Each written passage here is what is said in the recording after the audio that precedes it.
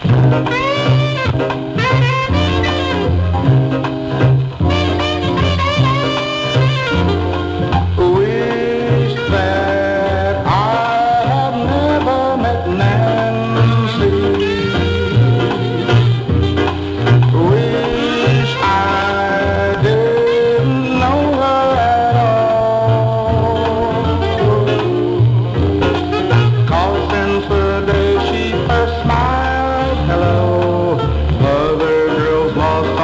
I